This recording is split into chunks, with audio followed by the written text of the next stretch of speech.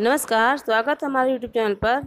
आज हम बनाने वाले बहुत ही सिंपल दाल रेसिपी और बहुत ही जल्दी बन के तैयार हो जाएगा। बिल्कुल इसमें झंझट नहीं है। तो सबसे पहले हम दाल को धुल लेंगे और धुलें इसको दो पानी से। इसके बाद इसमें डालेंगे दो गिलास पानी। दो गिलास पानी डाल करके हम इसको ढक करके रख देंगे। दो गिलास पानी हमने डाल दिया है। अब इसको ढक देंगे। तो पंद्रह से बीस मिनट लिए इसको ढकना है।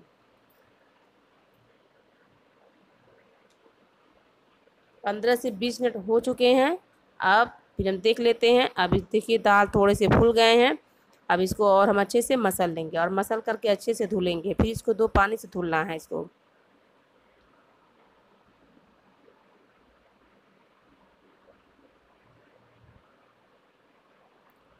अब हमने दो पानी से धुल लिया है। अब चलते इसको बनाते हैं। तो कुकर लेंगे। कुकर गर्म हो जाएगा। इसमें डाल देंगे एक चम्मच घी।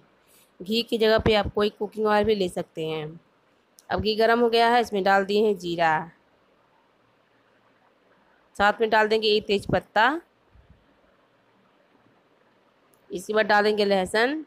आप लोग प्याज भी डाल सकते हैं, टमाटर भी डाल सकते हैं। इसमें डालेंगे हम सूखा हुआ लाल मिर्च।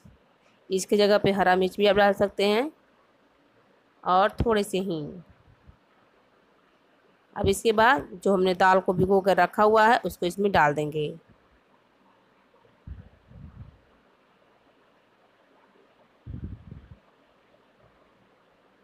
अब इसको बाद में तड़का लगाने की कोई ज़रूरत नहीं पड़ेगी। अभी दाल बन के तैयार हो जाएगा। इसमें पानी डाल दिए हैं।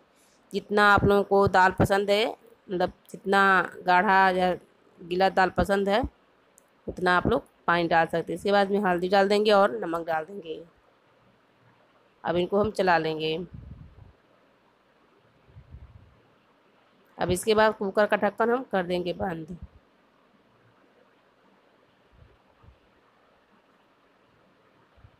अब इसके बाद जितनी दाल है उसी क्वांटिटी के हिसाब से हम सीटी लगा लेंगे।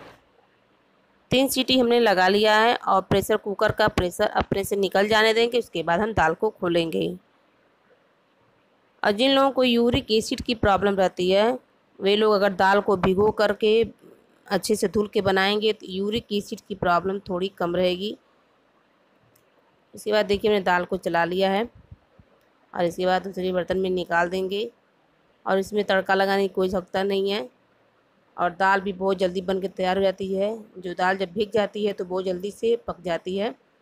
उम्मीद है आप लोगों को ये तरीका पसंद आया होगा। तो प्लीज़ हमारे चैनल का आप लोग सपोर्ट करें, लाइक करें, शेयर करें और सब्सक्राइब करें। आप तक आप लोग बने रहे हमारे वीडियो पर धन्यवाद